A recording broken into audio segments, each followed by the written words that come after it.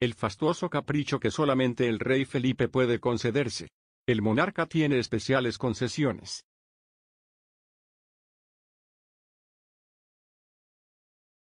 Es de público conocimiento que los integrantes de la familia real no están atravesando la mejor época a raíz de los escándalos mediáticos ocasionados por Iñaki Urdangarín, y su nuevo romance mientras continuaba casado con la infanta Cristina.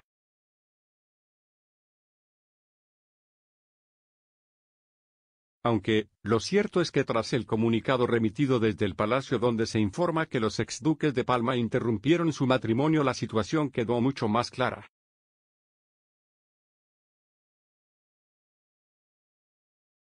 A pesar de los problemas, el rey Felipe no puede suspender sus obligaciones, pues se trata del jefe de Estado, y las cuestiones personales no deberían interrumpir jamás en la agenda institucional.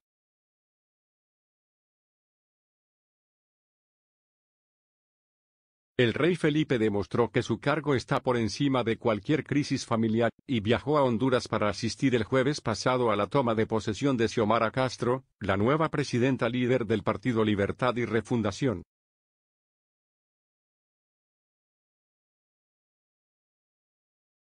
Acompañado por José Manuel Álvarez ministro de Asuntos Exteriores, Unión Europea y Cooperación de España el soberano fue recibido por el secretario de Relaciones Exteriores y por Guillermo Kirkpatrick embajador de España.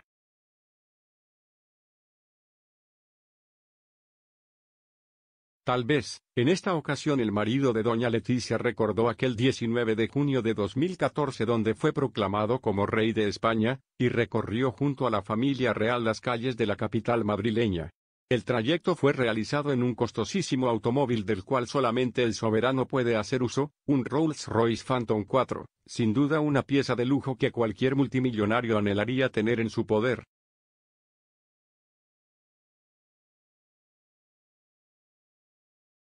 El vehículo en cuestión fue fabricado en el año 1952, y pertenece a una gran colección de coches antiguos que se mantienen bajo el total resguardo en la sala histórica de la Guardia Real en El Pardo, donde solamente puede ser exhibido con cita pautada previamente.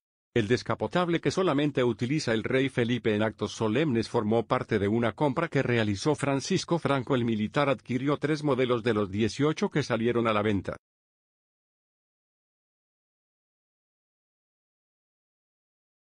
Cabe destacar que el resto de los coches también se encuentran bajo la propiedad de jefaturas de Estado y casas reales, situación que lleva al rey Felipe a ocupar una determinada posición de la cual no se sabe si estará orgulloso o no. El monarca está en el tercer puesto de la lista mundial de jefes de Estado con vehículos costosos de acuerdo al ranking realizado por Visual Capitalist y publicado por la revista Vanitatis.